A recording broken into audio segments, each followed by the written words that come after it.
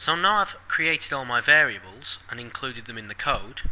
If you look in the stage here, Scratch has created my variables up here and I can just arrange those and I'm going to arrange them just like a binary number looks. So from right to left, ones, twos, fours and eights like that. And let's run my code just to show you how it works. So I'll click my green flag, I get my instructions, it asks me this first question, how many ones are there? Well let's say there's a 1 and press enter and watch what happens up here. It sets ones to whatever I typed in. How many twos are there? We're not going to have any twos, so I'll say 0. And it sets twos to 0. How many fours are there? Let's have a 4. And let's have an 8 as well. Now I'm going to move my cat down here a bit so his speech bubble doesn't get in the way up here. So now I have my binary number. And the next step is to create a total variable to add up the 1s, 2s, 4s and 8s.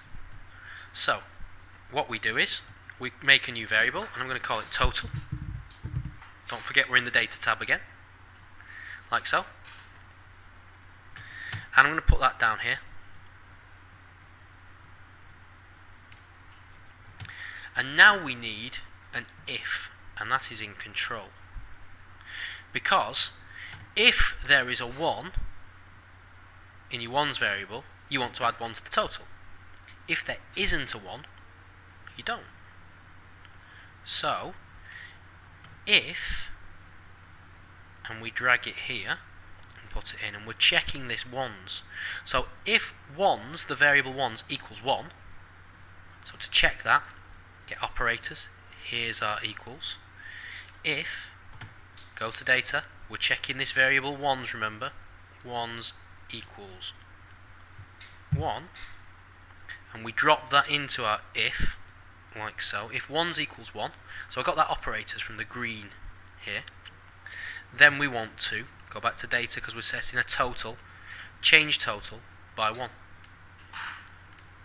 So that is your check if the user's typed in 1, for there is a 1 in our, in our binary number, then we add 1 to the total.